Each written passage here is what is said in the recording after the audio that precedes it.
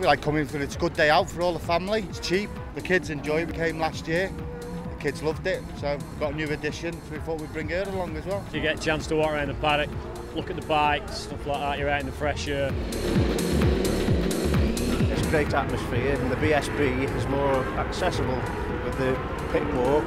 Uh, the riders are more accessible than the, the MotoGP, etc. The noise of the engines, love it.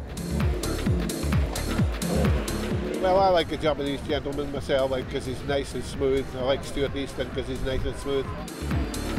I'd probably follow Josh Brooks more than anything else because he's a bit of a maverick. I like the Suzuki boys because he's got a Suzuki.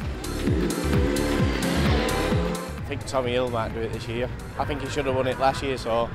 If I were to put a bet on it, I'd probably go with Shakey Byrne. Shakey Byrne, because he's the fastest out there. And he's got the, he wants to win. Stuart Easton was hoping here for a repeat of what he had a year ago. Tommy Hill. Possibly, possibly. Kiyonari's up there again because I mean obviously last year he was there, but it's one of about five or six, definitely, definitely. But to say that, if I could bet money on it and win it, I'd be worth a fortune. But you know, who, who's going to do that? No way.